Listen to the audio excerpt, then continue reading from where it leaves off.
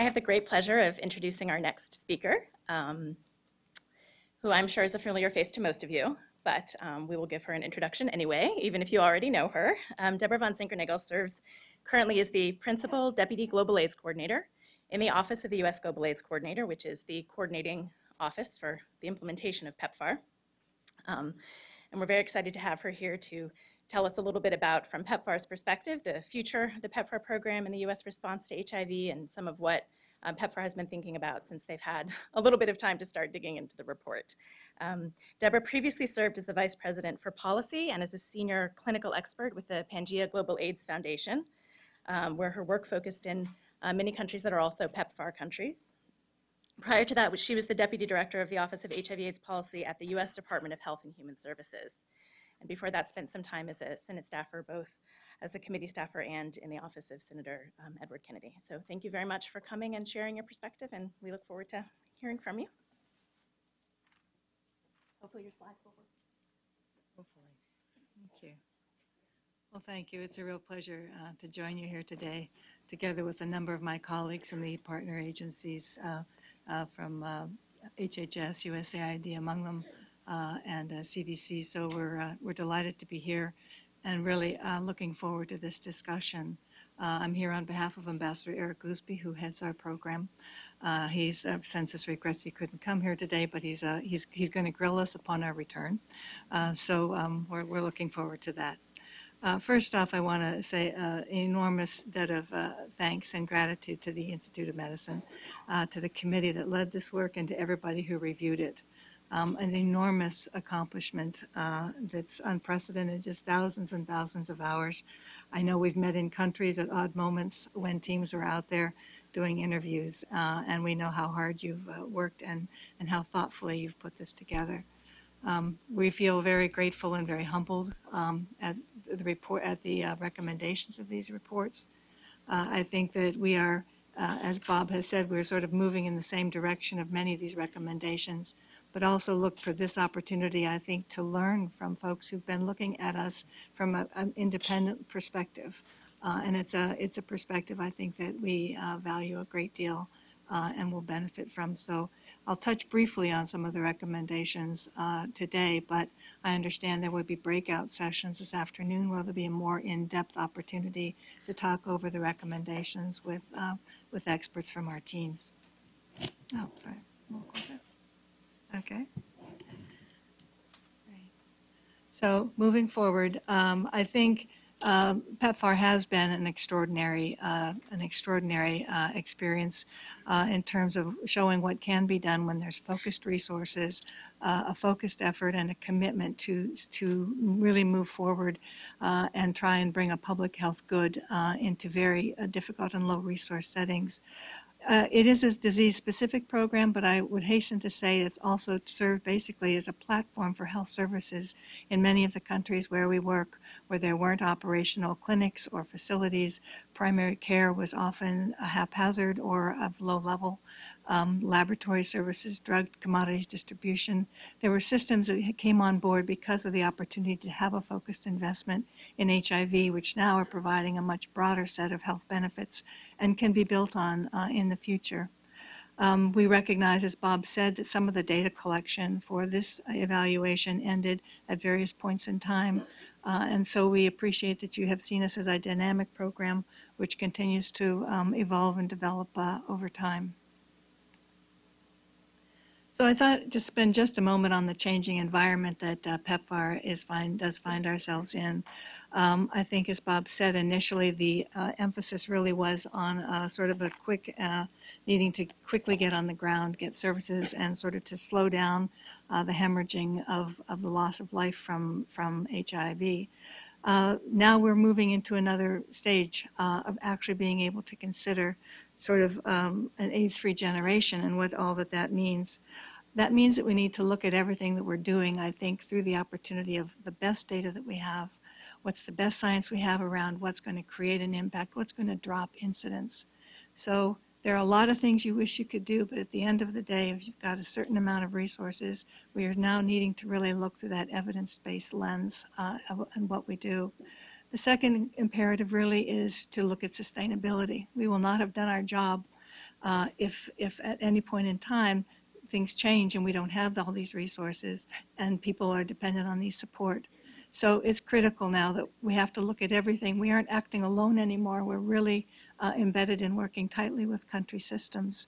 And that requires a new dialogue with partner country leadership uh, and putting countries in a different in different role with our program, where they convene, they lead, they develop the plans. It's their country, and we're there to help and support them in addressing the HIV epidemic, together with the Global Fund, other donors, and stakeholders. So it is a very different direction. Uh, than just charting the course alone at this point in time because that is not wise or sustainable.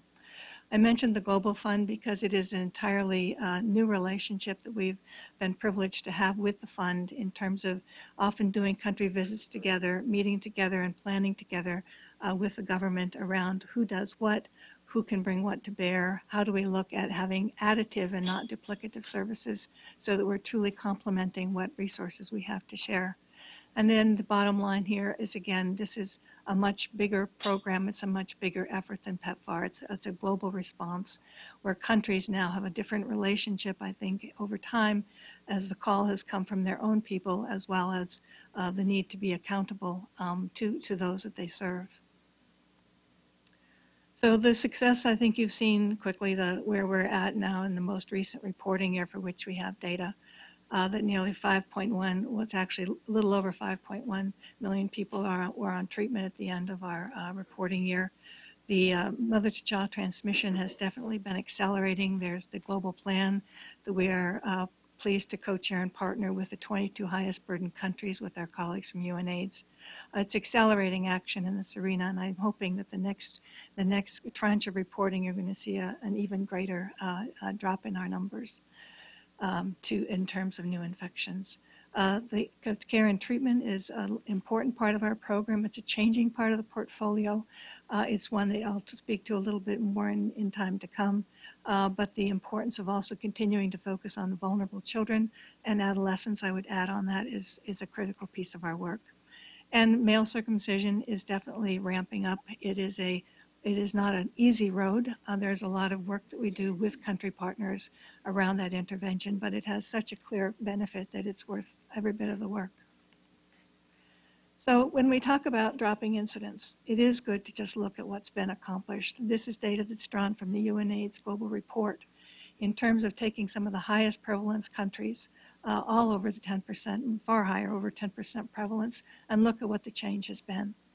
So this alone makes, I think, all of the work that we do absolutely uh, worth it, and it's a it's a call to keep keep pushing hard to to get these numbers way down. You've probably seen from the PEPFAR blueprint um, the graph that we've put forward in terms of the, we call it the tipping point, uh, but really it is trying to look at changing the dynamics of the epidemic where you have more people beginning ARV treatment than new infections in a given year. And these numbers, again, are drawn from the UNAIDS global data. This chart needs to be updated a bit because it only shows seven countries uh, in the under the 1.0, where which would be the ratio where there's an even number on treatment and starting uh, and new infections. The, the the last the first two countries in blue, they're both Kenya um, and I'm having trouble reading from here. Uh, Rwanda have moved. Uh, they have moved up. Um, uh, just to just under uh, a ratio of one, and uh, Haiti and, and Swaziland are just a hair over one. So they're very close to actually reaching that, which is rather extraordinary when you think of the burden of disease um, that those countries have held. So looking forward, uh, I think in PEPFAR's evolution, I think the charge and the opportunity uh, laid out for us is, is a big one, and you've captured it very well in, in the IOM report. We're in, a, we're in a dialogue with each country, I think, that's very different uh, depending on sort of the capacities of its health systems. Uh, whether they're often it goes with a primary care focus, other countries are putting an emphasis on decentralizing services um, through the national to provincial to, to district level. So there's a lot of there's a lot of effort underway. I think that the conditions where where things stand in every country that we're working with. However, it is a critical response that, that we're moving forward. Um, and it takes time. It's hard work. It's a lot of dialogue. it's a lot of uh, countries needing to think through what they want and the decisions that they want to make. Um, but in that, I think that we've been able to um, to hold ourselves accountable and need to keep the focus on the results at the end of the day. So looking forward, um, the PEPFAR blueprint, I think, is something that you um, are all uh, familiar with at this point. It was released by Secretary uh, Clinton uh, in World AIDS Day uh, last year. And basically, this schematic lays out the uh, four main principles. Each one of these has a roadmap with specific steps and action steps that PEPFAR is doing now and will continue to do. Um, this is also, I would hasten to say, this is something that we don't do alone. It is very much uh, a global responsibility. Um, and we are joined by that in uh, not only country governments, but I think uh, multilateral and other bilateral donors, academics, civil society uh, is going to take all hands on deck to, to make this uh, real. So the main principles that are underlying the, the uh, concept of the AIDS free generation and the blueprint um, are all noted here in terms of both looking, again, I mentioned to be very clear about what the data is that guides the decisions that we make and where the investments are.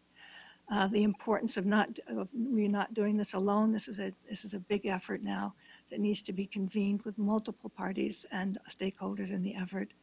There uh, is a critical focus uh, on gender issues, gender equality. Again, not women, not only men, women and girls, but men as well uh, and looking at the impact of vulnerabilities on, on the dynamics of the epidemic and transmission. The stigma and discrimination continue to be a continued challenge. I think it will always be there for us as we look at some of the countries now and the issues that are confronting MSM and LGBT individuals uh, who are at risk trying to access care, trying to access prevention, are at risk of identifying themselves. Um, the work is is uh, a lot yet to do, but it's one that uh, we have to keep in mind and, and, keep plugging on. And then I think we need to also be looking at uh, doing more with what we have and always looking for where we can find efficiencies in our programs um, that allows the resources to have a greater impact. So as we look forward to the recommendations, I think, again, uh, we'll hear more specifics on these uh, in the afternoon sessions, but I just wanted to touch briefly on each of these going forward. So the prevention, uh, the prevention re uh, review of prevention, I think, was very thoughtful uh, and very well done. Um, we then the focus on preventing sexual transmission, particularly as is still a major driver of the infections. Um, we have put out the guidance for uh, prevention of sexually transmitted infections in 2011 it's now being started to be manifested in the COPS and the country operating plan. But again, it was looking at how would you how would a country build its program based on its epidemiology, based on its data and its risk populations. What does your prevention portfolio need to look like uh, to re, to respond to that? And I think it's easy to, to try and say prevention is this or prevention is that. It's biomedical, it's behavioral, it's structural. It's all of those together. I think in any example that you want to pick, those things come together. In PMTCT, for example, uh, the there has to be demand creation to bring women into care. There has to be a mobilization of support to get to antenatal care to take testing. The biomedical intervention would be the ARVs, a prophylaxis for transmission. But then the structural intervention is male partner involvement as well. We've learned that the importance of that uh, and, and the environment at home uh, is critical towards reaching women and successfully keeping them in that cascade. The implementation, science, and combination studies are all areas where PEPFAR has been uh, placing investment. I think it's helping. We need to be sure that what we're doing are the right things, that what we're doing is the right combination, the right coverage, uh, and again, that will vary by, by population served and by uh, factors in the country. But we need to keep improving what we do, and this is the way that we want to move forward and work with, with those of you on the committee who made suggestions in this regard. And I would just say again that treatment as prevention remains one of the most highly effective and protective interventions. It's not everything, but it's an important and critical piece. On care and treatment, uh, I think this is uh, treatment, obviously, as I've mentioned, is a will be a critical element in continuing to drop transmission and incidence, uh, new incidence.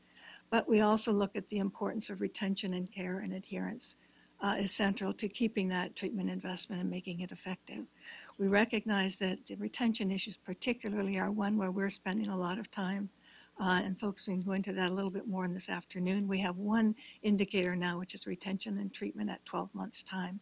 And that in and of itself, I think, is not adequate, and, and we're recognizing that. But the a new area of work for us really has been to put a new focus on quality management as well. This is really important as we're as we're looking to increasingly embed our programs in the public health programs of countries that that as we're not always the one in the front line delivering the care and service, that the quality of care is being maintained, that the cascades are are being followed. So we've got an initiative now that's, that's undergoing to develop a quality strategy, and we'll be starting with the clinical services as the first, uh, as the first area of focus on that.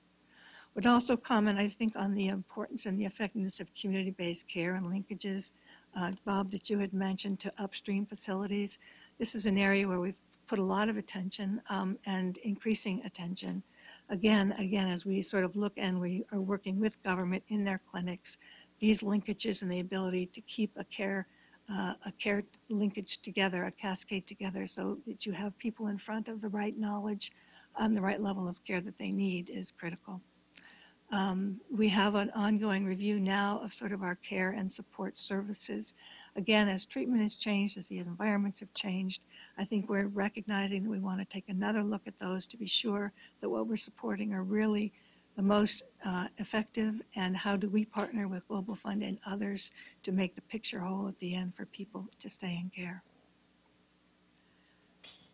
PEPFAR uh, has always had a strong and ongoing commitment, I think, to excellence in programming for orphans, for vulnerable children, uh, and increasingly now adolescents must be, we must be serving adolescents um, since the report was finished or data, we did release uh, the new OVC guidance, which had an extensive literature review uh, as part of it to help guide our programs in programming that.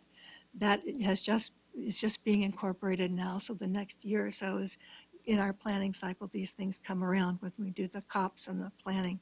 So the evidence of that will begin. We expect to begin to see that increasingly in our programs we recognize, I think, very clearly that there is a need for improvements in our measurement and evaluation in these programs, and I think and that is now underway as part of a broader new evaluation strategy, which is uh, in, in the works for PEPFAR. I would say that we recognize a critical need for expanding pediatric treatment. Uh, we are way below the curve in pediatric treatment. We're around 22% coverage where with adult treatment we're around 60 or so percent coverage across PEPFAR programs.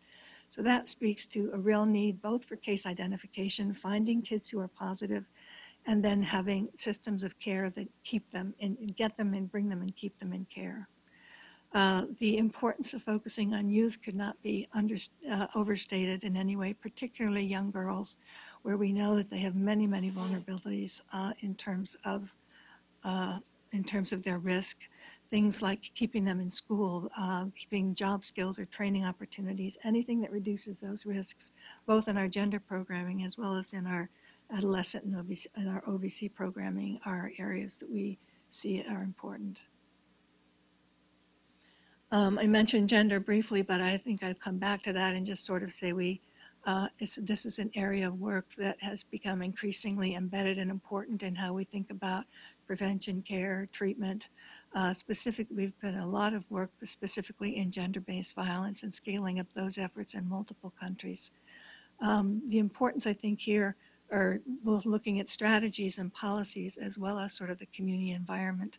Um, you have to look at things that uh, put people at a disadvantage. There's a lot of social economic inequities.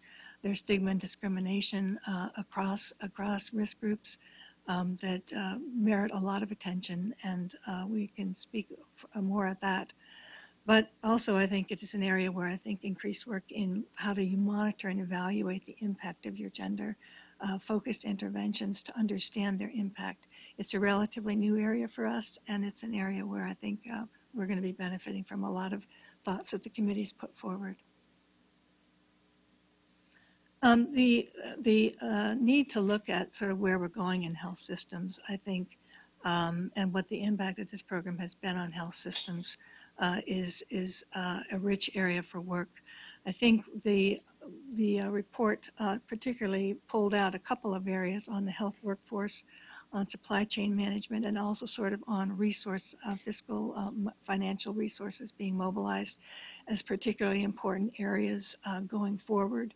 This builds upon other systems which are now more uh, a little farther along in their development, laboratory and clinical care systems, health information systems, all of which are part and parcel of delivering a package of HIV care and services, but um, are speaking to the broader health systems of the country.